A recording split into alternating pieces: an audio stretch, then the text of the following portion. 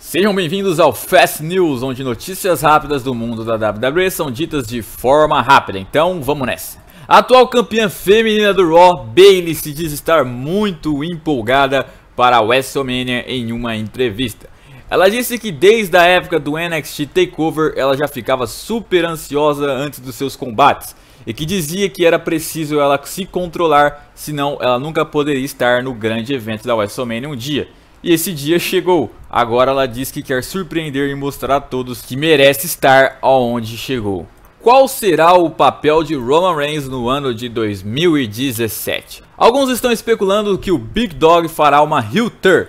Isso pelo fato de que o Roman Reigns nunca deu certo com o público. Pelo menos não desde quando tentou se tornar um top guy pela empresa.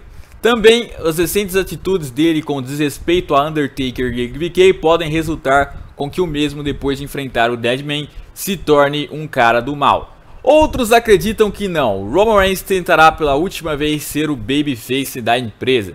Alguns dizem que o ano de 2017 ele se reformulará todo e enfrentará inclusive na WrestleMania seguinte Brock Lesnar e se tornando finalmente o rosto da companhia. Também é dito que Roman Reigns treinará muito mais sua mix skill nesse ano e estará completamente diferente dos anos anteriores. O tempo dirá qual será o rumo do personagem de Roman Reigns. Será que Naomi conseguirá participar do combate válido pelo título feminino na WrestleMania? O pai de Naomi já disse que a mesma com certeza estará recuperada antes do grande evento.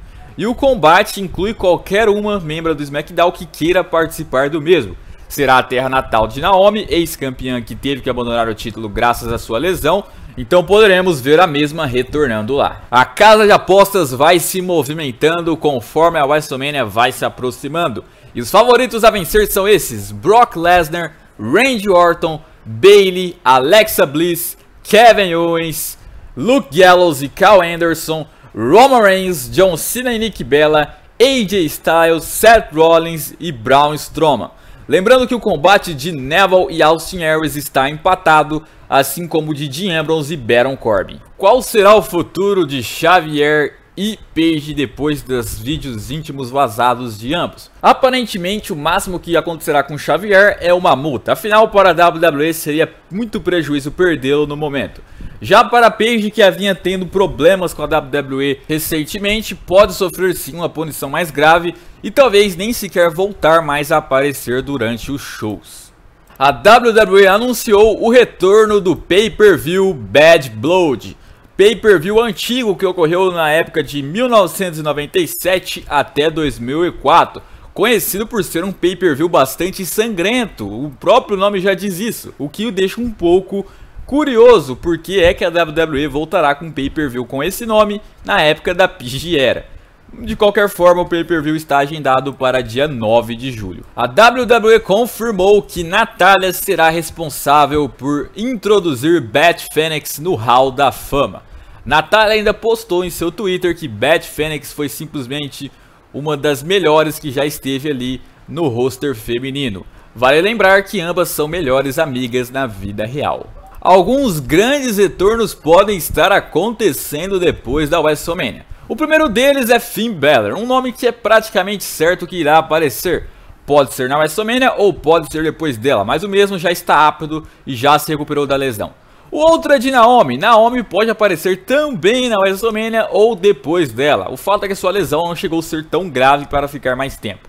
Alguns especulam também o nome de Kurt Angle, já que ele vai ser introduzido ao Hall da Fama, e ainda alguns acham que ele terá um último combate, ou talvez um último ano, ou quem sabe até mesmo se torne General Manager de alguma brand, principalmente o Raw. Outro nome que vem sendo cotado muito ultimamente é o de Kelly Kelly, ex-diva da WWE que poderia estar indo a caminho do SmackDown. Shelton Benjamin também vem sendo bastante cogitado, já que o mesmo era para estar no SmackDown desde o ano passado, na época do draft, mas uma lesão acabou impedindo isso. O mesmo já está recuperado e pode estar de volta depois da WrestleMania.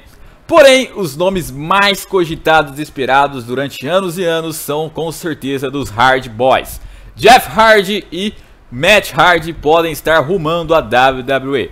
Tudo bem que recentemente os irmãos estiveram na Ring of Honor, mas seu contrato parece estar apenas curto. dizem que seu último combate será dia 1 de abril, um dia antes da WrestleMania. Então os mesmos poderiam estar retornando no Raw seguinte ou SmackDown seguinte para a WWE. Será que esse ano vai, galera? Recentemente vem ficando ausente o comentarista do SmackDown Live e narrador Mauro Ranallo.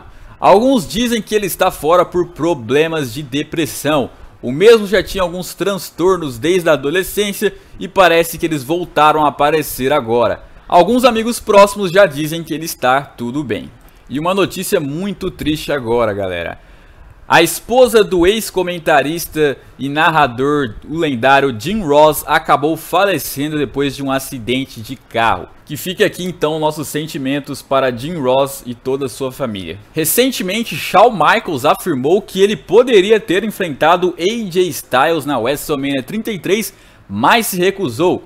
Ele disse que seria uma honra enfrentar AJ há 10 anos atrás, quando ele não estava mais aposentado e jovem seria um grande combate, mas ele disse que por já estar aposentado e uma idade mais avançada, preferiu não realizar esse tipo de luta. A WWE pode estar planejando um novo visual para Finn Balor. Não que o visual de Demon irá mudar, esse deve permanecer durante os pay-per-views, mas nos shows semanais quando Finn Balor estiver normal, como o Finn Balor humano, digamos assim, a WWE pretende tirar apenas uma jaqueta de couro e acrescentar novas coisas, como quem sabe até mesmo uma máscara. Afinal, ela quer investir muito no merchan de Finn Balor, que é um dos mais populares da atualidade. Recentemente, Goldberg foi entrevistado sobre seu combate na WrestleMania contra Brock Lesnar por Edge e Christian. E para quem não tinha expectativas nenhuma para essa luta, pode se animar agora, porque Goldberg disse que o combate será um festival de sangue. E diferente dos outros combates, ele pretende que essa luta seja mais longa e supere todas as expectativas presentes. E aí, vocês confiam nas palavras de Goldberg? Comentem sobre todas as notícias que quiserem, deixa o like, se inscreva no canal e para mais delas acesse www.wwengeral.com. Fui!